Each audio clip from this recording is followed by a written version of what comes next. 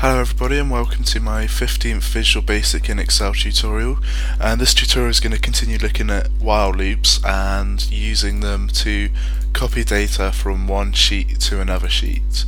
So here we've got sheet 1 and sheet 2 and they've both got the same information on but sheet 1 has only got is the only one that's got the information at the moment we want to copy it over on to sheet 2 and say uh, if I bring up my editor and create a new module and I'm going to call it submit.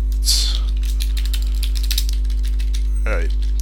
And then we need where a variable that dictates where the data starts. So dim counter as integer and then counter equals 2 because counter's on the second row down uh, that we want it to be.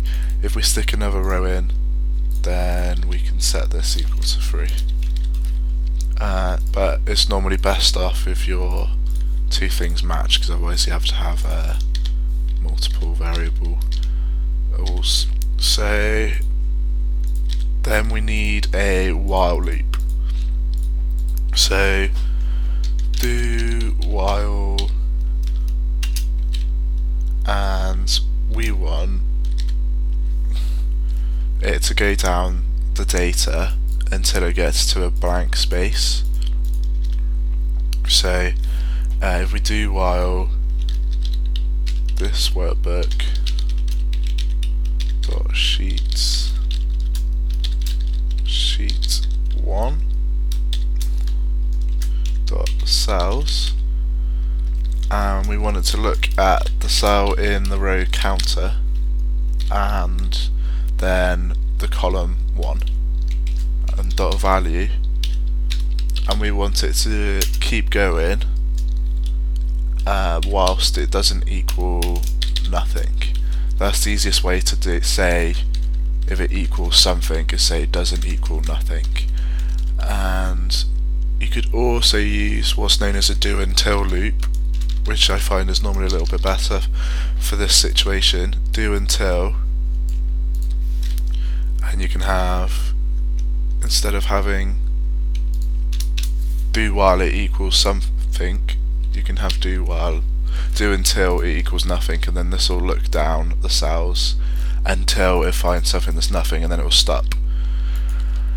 Uh, say that's a useful one to remember until it's exactly the same as a while loop except it's looking for it keeps going if the, this statement's false rather than if this statement's true and we want the end of our loop and then we also need something to um, increment our counter value by because at the moment uh, I'll show you now.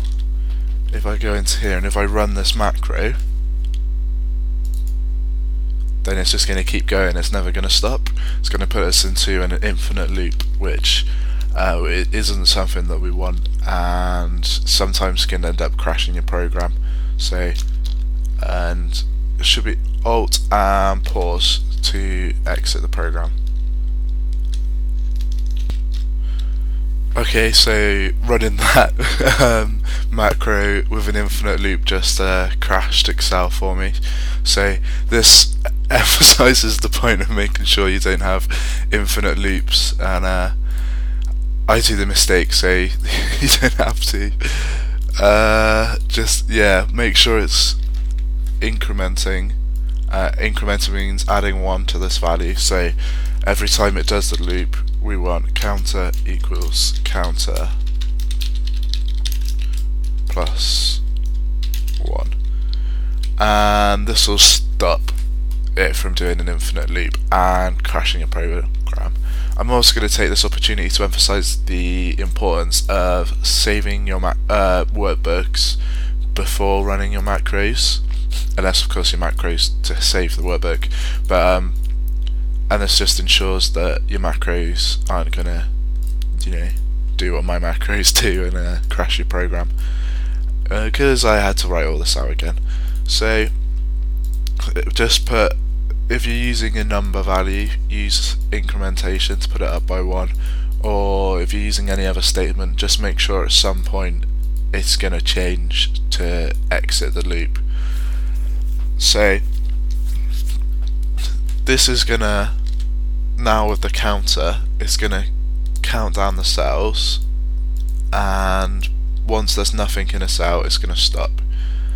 So we wanted it to not just count down them because that's not much use. We wanted to copy the, the cells across at the same time. So that's pretty simple. We just want this workbook dot sheets sheets two dot and I want to use range for this because I want to copy the whole line. And I'm going to use concatenation to merge the strings together use so I can have counter and uh, counter and the letter. So it's going to count through the range as well. So comma and then we want it to go to D concatenate with counter. Close bracket dot value. And then we can pretty much just copy this because the both the worksheets are exactly the same and put it equal to uh, we just want to change the sheet 1 to sheet sheet 2 to sheet 1 okay. And then let's run this now so run and sheet 2's got everything that sheet 1 had on it. Um, if we put another entry in here, let's put uh, Bruce. And he can be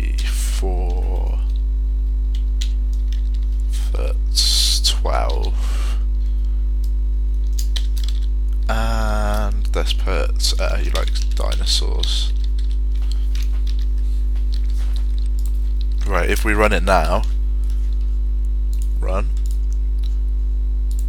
it's only copied across the three, it hasn't copied across Bruce, uh, Paul Bruce, and that's because there's a gap here, so it's gone down, it's got to go on, oh there's a gap, so I'm going to stop, and it doesn't check the rest of them.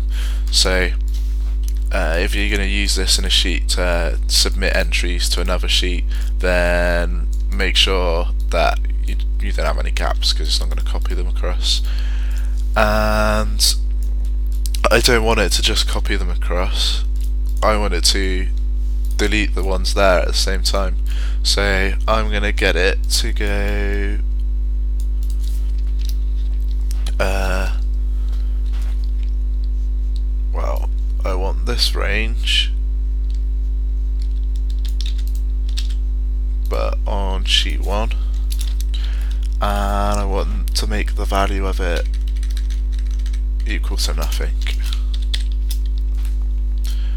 Uh, there are different things you can use to get rid of the value. You can like you can use clear, but I don't like to use clear because it gets rid of all the formatting of the cells as well. So just keep in value uh, equals nothing, and then that just changes the value of the cell rather than all the formatting of it as well It's quite annoying if you've uh, spent ages formatting all your cells. But um, so if we run this now, Alt F8, run, and it's got rid of them, and it's put them on sheet 2, which is brilliant. So what happens then when we do it again? Say we've got another group of people run, and it's overlaps them. Now generally for this kind of submission uh, macro you don't want it to just submit it over the top of the other data. You want it to go down and uh, submit it after it. So if we go back in here the way to do this is to do another loop like this to find the bottom of sheet 2 so we can just use counter again in fact. Say let's do do until let's just copy the whole the whole loop. Right say we don't want that. We just want the counter. We just want to find out when the end of the uh, sheet 2 is. And um, we're actually going to have to use a different counter for this. So let's put counter 2 because I just realised we need it still. So dim counter, comma, counter 2 as integer. And I'm running out of time so I'm going to go a little bit faster, say counter 2 equals 3 and then this is going to go to the end of the sheet until it equals nothing. And then we've got a value for counter 2 that we can then use to copy into here. So value on sheet 2 of counter 2 and counter 2 and this will copy whatever it is onto wherever the last one of there is. Um, and then we want to increment it each time it does this. So counter 2 equals counter 2 plus 1 because otherwise it's just going to keep submitting them all onto the same uh, one. So uh, let's run this now. So let's get these back again over here. And Alt F8 run. And it's added them onto the bottom and we can keep doing this and we can do it with as many ones as we like. Say uh, let's do it with like 18 Alt F8 run. Go over to sheet 2 and they're all on there. That's brilliant. And everyone loves ice cream and ping pong. So this is really useful for quite a few things and in the next tutorial I'm going to show you uh, one of the main things I use it for um, which is to do with opening up another workbook and copying it into a separate workbook. So thanks for listening and I hope to you catch in soon.